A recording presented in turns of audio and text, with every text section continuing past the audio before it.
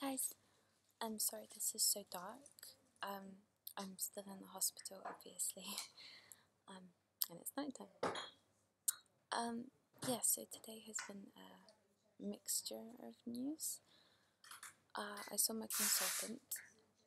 So everyone's doing OBS, so they might hear some beeps and things. I'm sorry. Um, yeah, I finally saw my consultant, and she has seen my MRI. Um,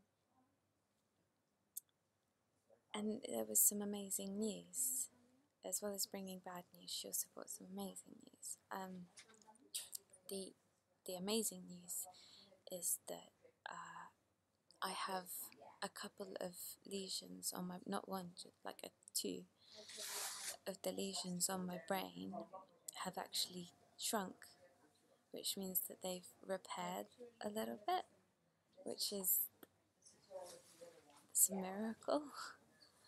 Um, but in terms of what's happening right now, uh, she thinks that she thinks that I have something else wrong with me as well as my MS. Um, when you have a disease like MS, sometimes it you can be prone to getting other diseases, and she thinks that that's what's going on with me right now. Um, she, I told her that I never had a spinal MRI, and she was a little bit shocked by that, which I expected. Um, so she's ordered a spinal MRI. Um, I'm a little bit concerned because whilst the lesions on my brain might be, you know, shrinking, I might have some new ones on my spinal cord. Uh, but we're not going to know until I have my MRI.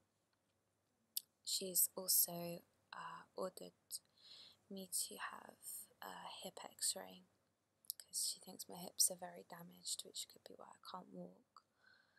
Um, and she's referred me to uh, the rheumatology people because she's she's pretty sure I've got another disease. But um, the point is, I'm still, you know, I'm still here, and I'm still battling through it, and I'm in the best place possible. There's wonderful, wonderful staff. I'm so safe. Um, and the fact of the matter is that it is being investigated and it is being sorted and it will be, will be done. And we'll find out what's wrong. We'll find out what's going on. I've got every confidence in these guys. Um, yeah, so that was that's been today. In terms of my mobility and things like that, I am still using a wheelchair really, really well uh, my consultant said that I was, depending on when I have like my x rays and my MRIs, um,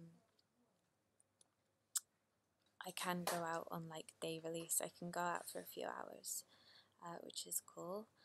Um, a little bit of logistical problems because the wheelchair that they've given me isn't allowed to leave the hospital because someone stole one the other day.